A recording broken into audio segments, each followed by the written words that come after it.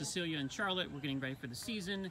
How do you guys feel about things? Probably some big goals for you guys, but what are the expectations that you guys have for yourselves this year?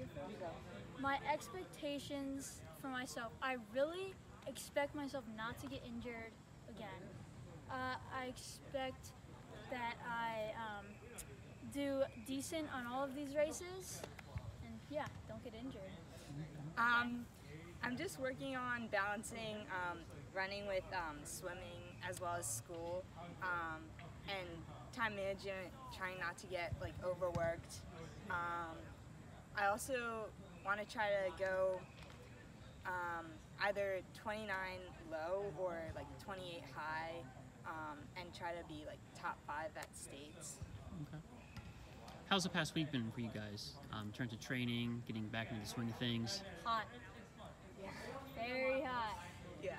Um, I'm just getting used to um, jumping back into running.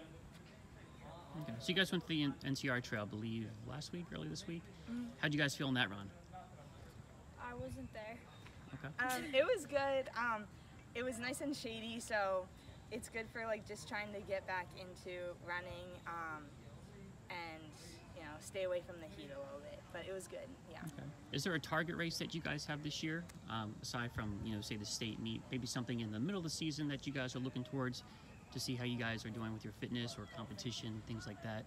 Uh, I'm maybe like the bull run race. That is that really gets me to my limit of my fitness. That's how I Right. tell how like in shape I am because whoo that hill, yeah, that's a terrible race. Um, same. Yeah. it's a bull bull run. run. Yeah. Okay. All right. Well, good luck this year, girls, and uh, we'll be following you for sure. Yeah. Thank you. I,